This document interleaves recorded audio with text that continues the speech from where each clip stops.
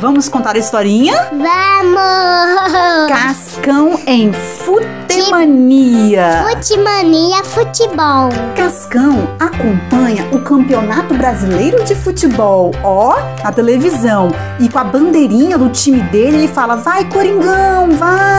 Aí fala assim: chuta, chuta, vai! E ó, passa um tempo no, no rádio, quando a mamãe dele tá assistindo a novela. Dedé passa pra Dadá, Dodô rouba a bola. E o Cascão ali, ó, compenetrado no radinho. Outro dia se passou, aí a mamãe do Cascão fala bem assim: ufa, até que enfim acabou o jogo. Mas o Cascão fala bem assim: é, mas agora tem os comentários da partida no canal 8. Ai meu Deus do céu, além do jogo, ele assiste os comentários. Aí, até que. Gol!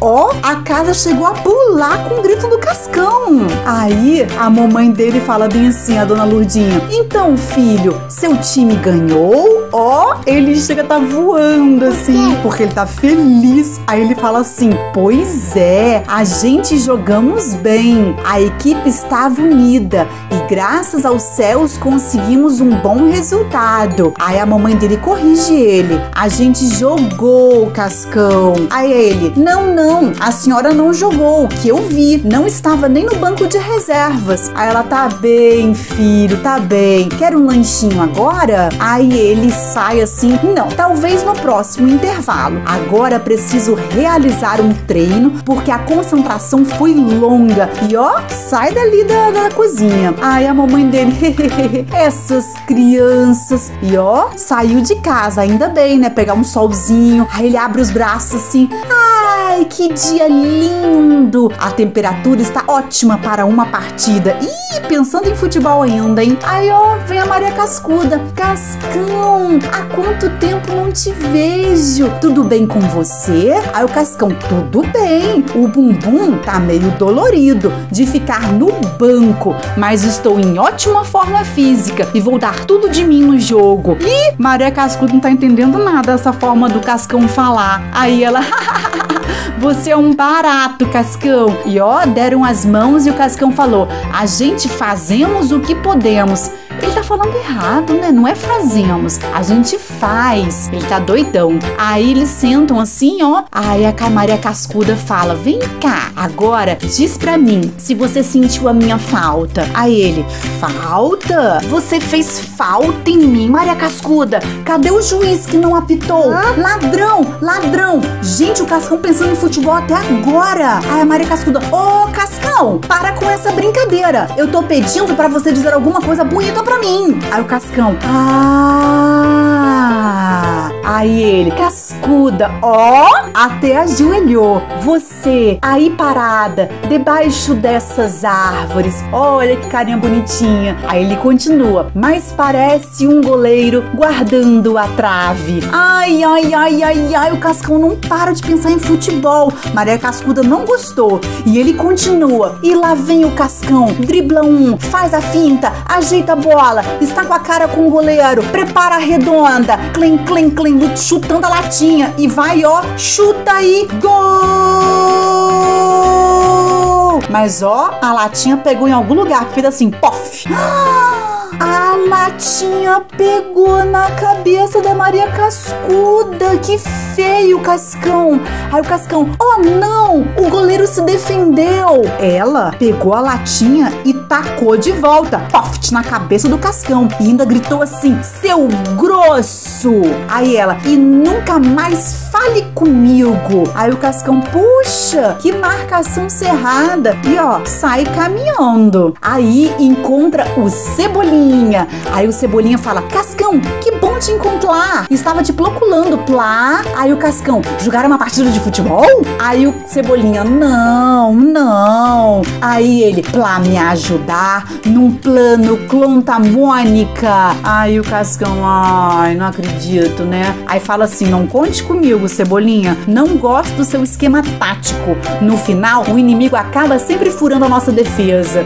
Ih, o Cebolinha não gostou que ele não quer aderir ao plano. Aí o Cebolinha, pois se você não topar, eu conto pro Malcão quem passou cola na mão do último campeonato de bafo. Ih!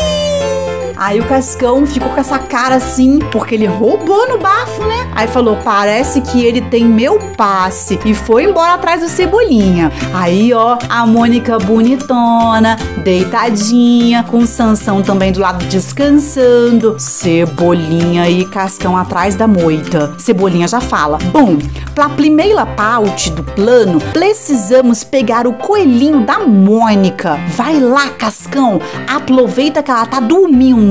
Aí ele manda o Cascão ir lá. Aí fala: Epa, começou a ventar. Acho melhor eu mesmo ir. Com esse vento a favor, é capaz dela sentir o seu cheirinho. E ó, deixou o Cascão na moita e foi lá para poder fazer o plano dele, né? Foi devagarinho pegar o Sansão, ó, nas pontas dos pés. Aí, quando ele tá pegando o Sansão, o Cascão grita: Piri!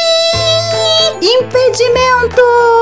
Aí a Mônica acordou. Hã? O quê? Onde? Aí o Cebolinha, Cascão, ficou louco. Cascão ficou louco mesmo, né? O Cebolinha pegar o Sansão e ele apitou tão alto que a Mônica acordou. Aí o Cascão, eu não, tô louco não. Você estava claramente impedido, meio metro à frente do último zagueiro. Aí o Cebolinha, seu idiota! Aí o Cascão, não reclame com o juiz, ou leva cartão amarelo e... Aí a Mônica percebeu que o Cebolinha tava segurando o Sansão. Aí ela, ahá, meu coelhinho, devolve ele, Cebolinha. Olha, o Cebolinha chegou, hum, engoliu seco.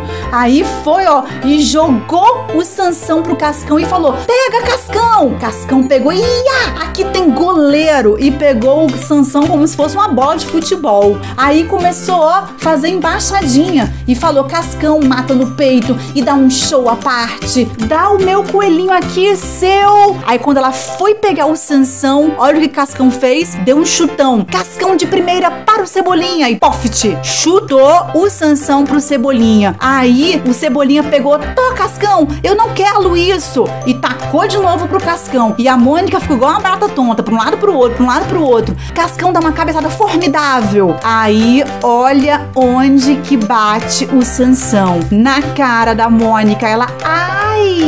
Aí o Cascão começa a rir, mas a bola explode na barreira. E que barreira enorme, torcida brasileira! Mas a Mônica tá gostando? Grrr. Agora vocês passaram dos limites. E ó, já pronta para dar soco neles. Aí o Cascão, oh, oh, ele está com cara de quem vai fazer pênalti. Só que pum, toft, bateu, né? Ó, os dois todos machucados. Aí o Cascão, Futebol é mesmo uma caixinha de surpresas. 10 a 0 para Mônica. E a Mônica, hum, e saiu, ó, segurando o Sansão. Aí o Cascão, pensando bem, deu a lógica. A -a Acho que precisamos ser substituídos, companheiro. Tô cheio de contusões. Mas o Cebolinha fica nervoso. Quer falar com essa mania de futebol? Você tá um chato, Cascão. Aí a Mônica vem e fala bem assim: Eu também acho que Cascão tá chato. E a Maria Cascuda, e eu também acho. Aí o Cebolinha segura no braço do Cascão e fala: Acho melhor você parar de ver futebol por uns tempos. Aí o Cascão, tudo bem, o campeonato acabou mesmo e sai cabisbaixo. Aí, dias depois, ó, Cascão vem andando para encontrar com quem? Cebolinha e Mônica. Aí o Cebolinha fala assim: Cascão, como é que é? Falou com aquela mania de futebol? Aí o Cascão responde: Parei. Aí o Cebolinha: Que ótimo. Aí o Cascão: Afinal, percebi que a grande sacada não era essa. Rodei, explorei o bloqueio e ganhei a vantagem. Ih! E ele ainda continua. O grande Cascão se prepara. Outra vez o saque bem direcionado. E a bola explode indefensável na quadra adversária. Ai, ai, ai, ai, ai. Mônica, Maria Cascuda e Cebolinha saem até de perto. E o Cebolinha fala assim: É, parece que começou o campeonato de vôlei. Ih, caramba! O Cebolinha trocou agora o futebol pelo vôlei. É isso aí, pessoal. Acabou a historinha. Se vocês gostaram como eu gostei, deem um like Ai. e se inscrevam no canal. Tchau, tchau. Tchau.